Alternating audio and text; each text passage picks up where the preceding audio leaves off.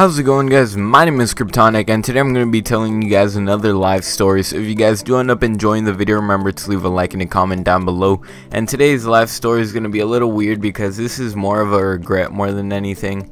And it's so common for people to like kind of think like this and it's like, oh I should have done this and that. But one of my biggest school regrets, or middle school regrets at least, now entering high school I realized that one of my biggest middle school regrets was never telling the girl that I really liked that I really liked her.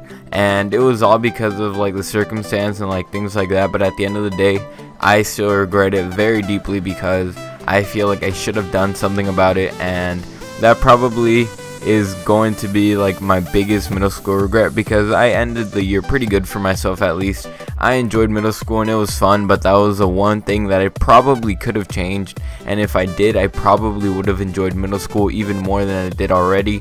And it's just something that I mean I regret, but I'm trying to fix it in a way, but at the same time, I'm just kind of letting it go and see how it goes. But yeah, guys, that has been it for this video.